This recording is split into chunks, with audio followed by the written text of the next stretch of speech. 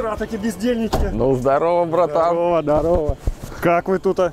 Да, нормально. Я прям Ну, ждал, не дождался тебя. привезли вам пропитанные адреналином. Обалденно. Обалденно. Они видели грязь, они видели скорость. Слушай, они прям вообще кайфовые, нифига себе. Алюминий, братан. Прям вообще от души. Надо примерить.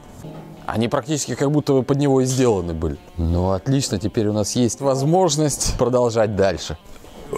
Вот теперь я уже представляю, как, как я буду ехать, а? А ты хотел поди мягкие какие-нибудь? Конечно же, я хотел арикаровские ковши. Но я думаю, что алюминиевые будут еще круче. Ну, как бы на эти дешевле сшить чехлы, чем купить рикара. Единственное, я что-то вот сейчас начинаю смотреть, и у меня такое ощущение, как будто бы я узковатый сделал этот самый. Литровскому. Да. Короче, это легендарные ковши, которые прошли очень много соревнований, на которых было побеждено множество экипажей, получено множество кубков, правда, в оффроуд дисциплине, но может быть когда-нибудь и у нас этот болид перерастет в оффроуд дисциплину. Друзья, мы приветствуем вас в очередной серии канала Workroom Сибири. И мы начинаем продолжать делать наш спортивный болид Субатом. В предыдущей серии мы уже сделали, можно сказать, подвеску, установили кайловеры. Дальше, конечно, предстоит еще перебрать сами стойки, но это будет чуть позже. У нас появились ковши, а это означает, что можно приступать к органу управления, но для начала их нужно закрепить. Эти ковши мне подогнал мой один хороший друг, с которым мы раньше частенько пересекались на оффроудных мероприятиях, когда ездили по различным соревнованиям. Короче, мы очень рады, что Мишаня нам подогнал эти ковши, и нам не придется их делать. Тем более мы, в принципе, собирались сделать практически то же самое, только, скорее всего, из железа. А здесь алюминиевые, легкие, как вы все любите. Короче, первым делом сейчас пытаемся закрепить ковши, после этого примеряемся и смотрим, как у нас будет э, находиться, где какие педали. Изначально мы думали сделать кастомные педали, но поскольку педаль газа у нас электронная, особо здесь не покрафтишь, придется по-любому приделывать как-то эту педаль. Остальные две педали смысла делать кастомные как бы я особо не вижу. В качестве донора мы будем использовать родные субаровские педали. Далее нам надо будет установить еще сюда рулевую колонку. Для этого нам потребуется выгнуть еще одну трубу. В общем, примерно как-то вот так вот должны быть ковши. Мы уже немножко попримерялись. Вот под- положили сюда досточку. Это у нас импровизированный пол. Теперь нам нужно как-то здесь их закрепить. Для этого нам надо смоделировать какие-то кронштейны крепления. Слава богу, что у меня есть, в принципе, уже модель этого ковша, в котором есть уже все крепежные отверстия, так что проблем особых, я думаю, с этим никаких не встанет. Залазить вообще в этот болид будет крайне неудобно. Как говорил один автопутешественник, самое главное не так, как удобно садиться в автомобиль, а насколько удобно ехать на нем. Вот такая вот педаль сцепления. И она у Субарика на тросиках. Но не на всех, как оказалось. Бывали варианты и с гидравликой. И мы что-то так подумав, что заморачиваться с тросиком это чересчур замороченное. Мы, короче, решили взять все-таки Гидравлику. гидравлический вот такой это цилиндр. Это, получается, главный гидравлический цилиндр от э, Nissan X-Trail. Самый дешевый из новых. Мгм. И куда-то вот сюда вот мы его должны будем приделать. А может быть вот сюда. Пока что мы не знаем, поскольку у нас еще не установлены ковши. Ну что же, Мик? 50. Все, 50 миллиметров между отверстиями. Теперь можно пойти посмотреть наш проект и убедиться, что все точно так, как на этих ковшах. Короче, ковш у меня уже спроектирован, я его делал не раз. И крепления также к нему уже были тоже сделаны. Но под э, субатома я решил немножко доработать и переделал немножко кронштейн, поскольку обычно он прикручивался к полу. Здесь у нас в субатоме пола как такового несущего не будет, там просто будет э, такая стеклопластиковая чаша. Кронштейн должен привариваться просто на глушняк к трубе, поэтому я его немножко доработал. Плюс регулировок там у стандартного крепления было очень много регулировок, которые, ну, ну там абсолютно они излишни, то есть там их приходилось всегда подпиливать, то есть э, я сразу же решил укоротить, сделать по 4 отверстия для регулировок, я думаю, что нам хватит. Короче, сейчас попробую его примерить, мне кажется, он должен стрельнуть. Хотя, если честно, я не уверен. Тем временем, пока Женек проектирует крепление для наших ковшей, мы устанавливаем, получается, гидравлическое сцепление. Мы купили цилиндрик рабочий, а вилка-то у нас под трос, так что мне надо будет сейчас вот из этого болта изготовить какой-то сюда переходничок под эту вилку. И я люблю токарить или токарить. Короче, мне нравится на токарном станке работать. И вот сейчас что-то буду исполнять какую-то проставочку под эту вилку.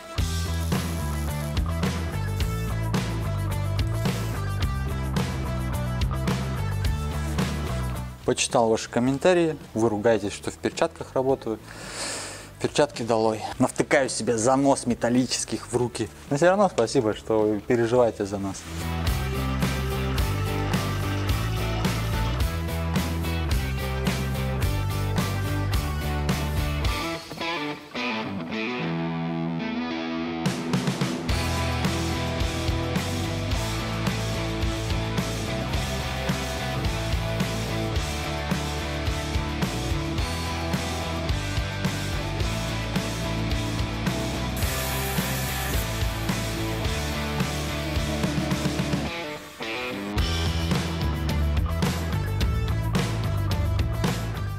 Бедный стакарный станок. Он стоял, ни- никому ничего это самое плохого не делал, его никто не трогал, не беспокоил. Ну да, я добрался до него. Я просто, блин, с детства любил это все смотреть. За негодой наблюдал, потому что у него много токарки. А так, видишь, какой пиптик получился.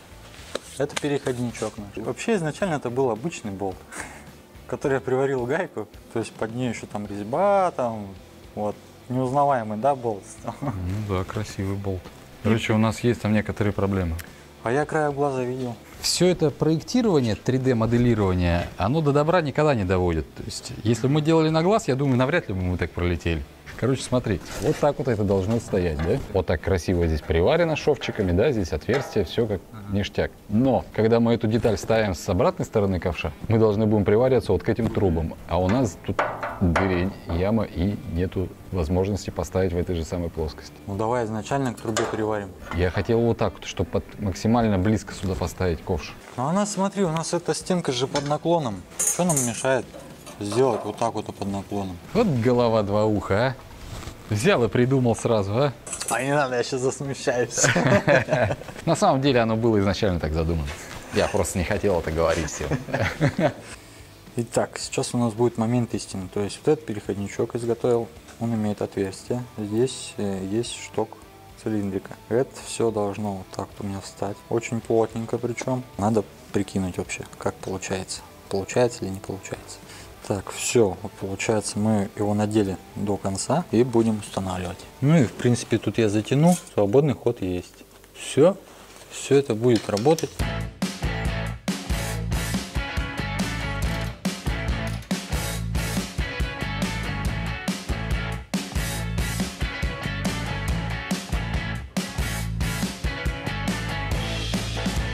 Короче, сейчас что мы сделаем? По идее, здесь должна быть вторая дуга, которую мы от- отпилили. Теперь здесь нужно делать вторую другую. Но где она должна находиться, пока что мы не знаем. Для этого мы сейчас возьмем рулевую колонку и на какие-то костыли это все дело выставим и прихватим. То есть чисто для того, чтобы спозиционировать руль.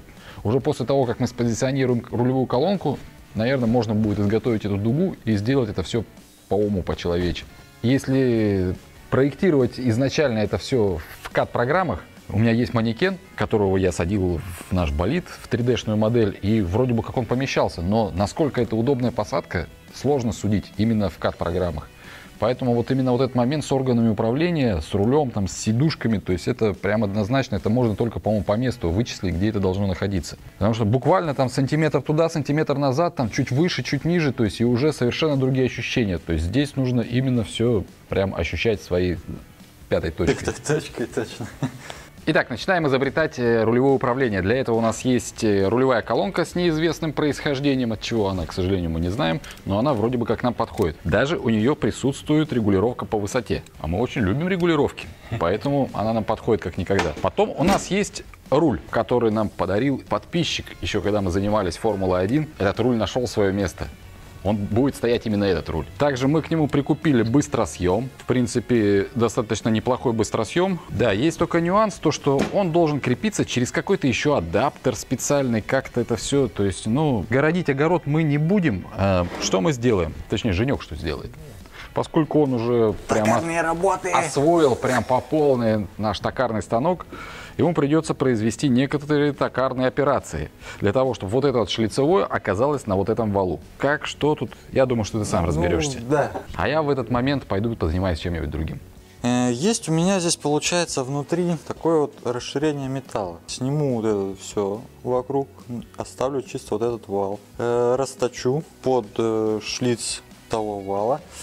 Ну, то, что с таким способом, чтобы я мог ее запрессовать, это во-первых. А во-вторых, мы ее немножечко, не по всей плоскости, а немножечко приварим. Ну и, в принципе, усилия здесь огромных нету, руль, надеюсь, не отвалится.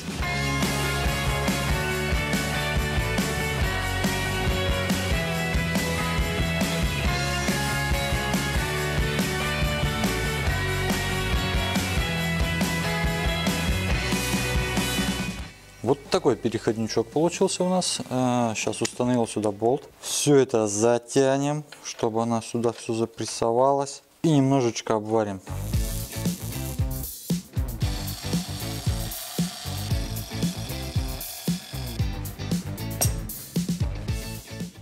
Ну что, надо примерить?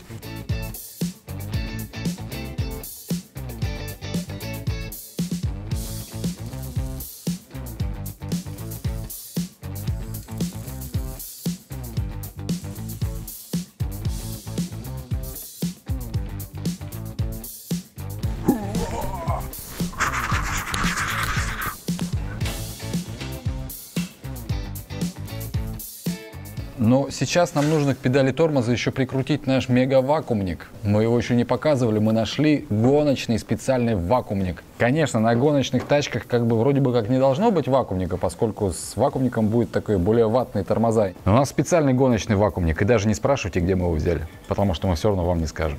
Там он был всего лишь один, больше таких нет. Кое-как нашли, таких просто найти нереально. Самое интересное, что он подходит по креплению к субаровской педали. Но это не Субару, я вам скажу. Блин, там палится надпись. Надпись палится. Где? Где? Что? Вон та красная, да-да-да. Не, ну матизы тоже бывают гоночные.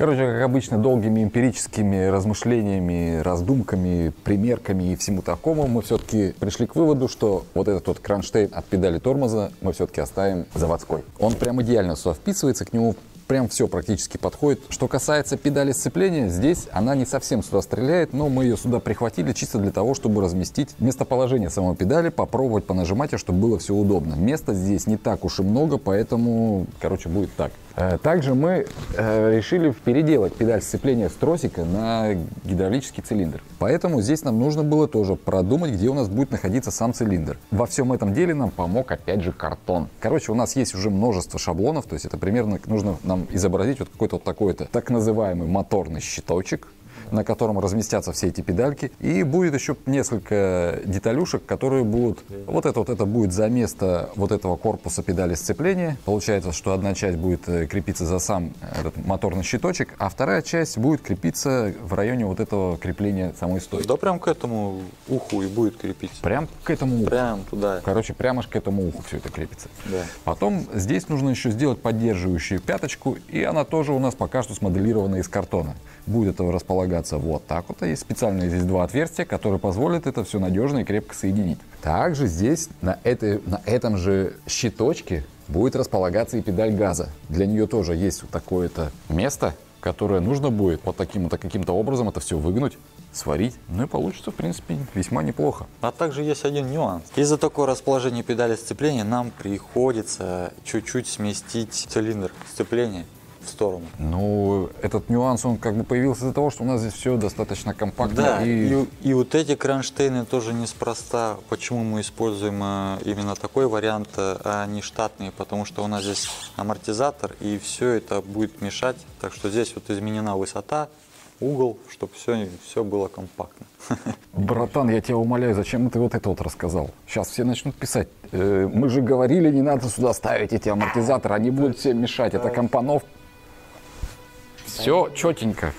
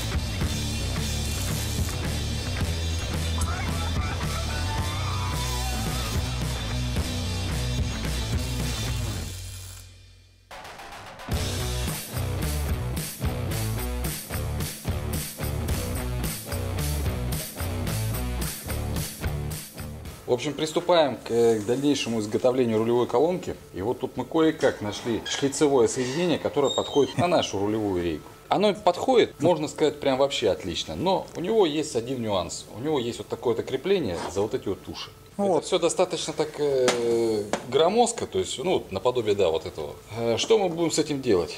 Естественно, вот это всего мы оставить не можем так, как есть. Поэтому мы просто отпиливаем эти уши, сюда привариваем трубку. С этой стороны мы привариваем совсем другой шлицевой соединений. И у нас все должно быть обалденно красиво. Ну, есть более простой способ на болту, а можно выточить направляшку. Значит, точим направляшку. Мы же за точность Да.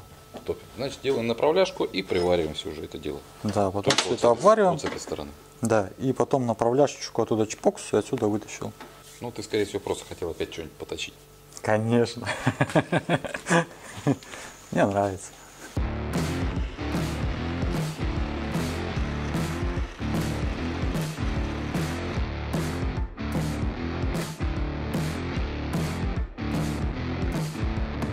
Так, все, получается, изготовил такой направляшку. Она сюда плотненько входит, четко. Как и говорил ранее, что у нас крестовинка более меньшего диаметра. Тут я, получается, сделал с запасиком под болт. Все это сюда закрутится, обожмется. Но перед этим надо будет отрезать вот эти уши.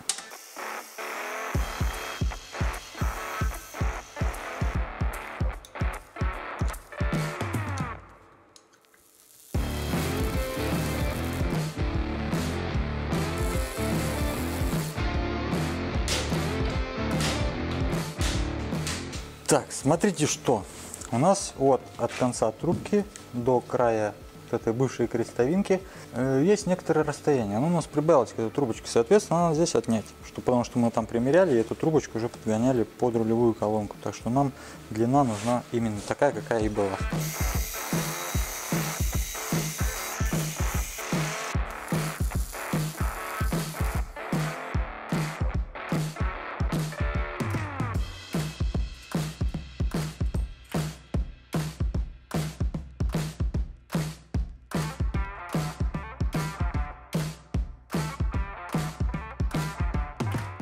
Общем, с первым этапом органов управления практически все уже завершено. Осталось только облагородить вот этот вот кусочек. Теперь нам надо просто здесь выгнуть трубу. Что-то наподобие того, что мы, у нас здесь было, но немножко другой формы. И на самом деле хорошо, что мы все это разобрали, потому что с тем вариантом расположения вот этих вот дуб у нас бы вообще бы ничего не получилось. Они здесь вообще абсолютно не стреляют. Выглядеть эта труба будет немножко по-другому, и мы не будем уже прокатывать ее в прокатном трубогибе, мы просто выгнем ее на нашем трубогибе бендере, и она будет располагаться как-то вот прям вот так вот. Более эргономично, и мне кажется, более кайфово. И, кстати, мы будем использовать здесь цельнотянутую трубу, поскольку водопроводная у нас все-таки уже закончилась. Наступили тяжелые времена.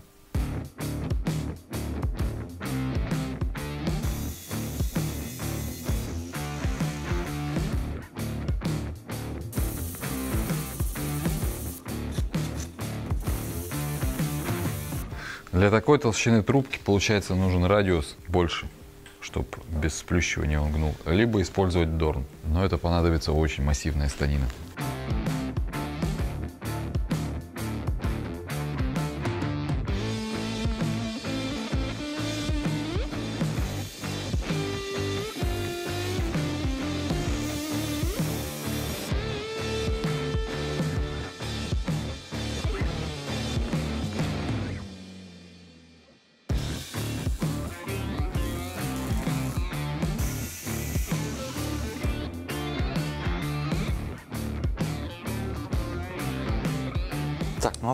Женек проектирует там кронштейны рулевой колонки, я, скорее всего, доделаю педальный узел. А именно, мне надо изменить шток от э, главного тормозного цилиндра до самой педали. Там он коротковат, если кто-то заметил.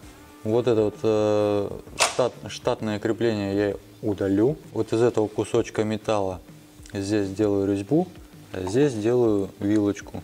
И это все как-то примерно сюда я все установлю.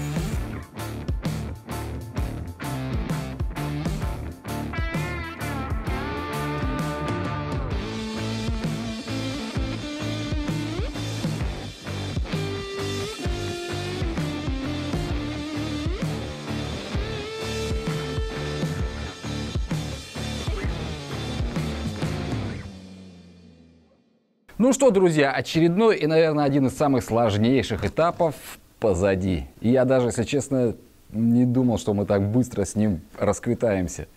Мне казалось, что сделать э, педали, рулевое управление, вот это все, это, это, блин, вообще такой сложный для меня был этап, к которому я его все оттягивал, оттягивал и даже боялся, если честно, к нему подойти. Я вспоминаю, как мы делали эти органы управления на Формулу-1, и это было прям реально непросто чтобы сделать реально удобные педали, там, э, разместить руль правильно, сидушки, то есть это все скомпоновать в одном месте, причем место это достаточно такое у нас, ну, очень компактное. Ну это было непросто, но мы с этим делом справились, и мне прям это просто гигантский груз с души упал. Дальнейшие, конечно, этапы не такие сложные, не такие замороченные, хотя тут еще делов на самом деле просто вагон и маленькая тележка. Что стоит только одна кулиса? Да, по поводу кулисы мы не успели ее сделать, потому что, как обычно, у нас нету комплектующих, у нас нет пока тросов. Тросы нужно заказывать, а чтобы их заказать, нужно просчитать их длину. Она должна быть четкая и нельзя там сантиметр плюс-минус должен быть идеально четкий по размеру трос.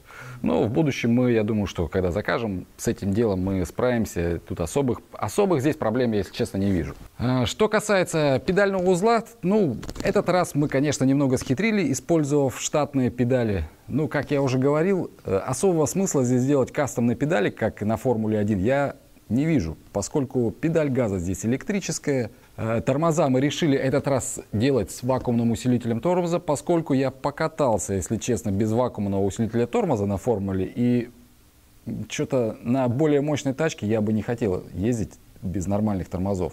Тем более у нас вакуумник гоночный, как мы уже говорили. В общем, по педалям мне прям вообще все понравилось. Я думаю, что вы тоже зацените это дело. Не, они прям, мне самому прям нравятся и получилось. Не, они получились это. очень удобные. По сравнению с формулой это получилось просто, они просто обалденные. Прям как реально садишься в автомобиль, удобный автомобиль причем. Сделано, подогнано, все идеально. Ну и на этой позитивной ноте мы с вами прощаемся. Подписывайся обязательно на канал, ставь лайки. Не забывай лайки ставить и писать комментарии. Всем пока. пока.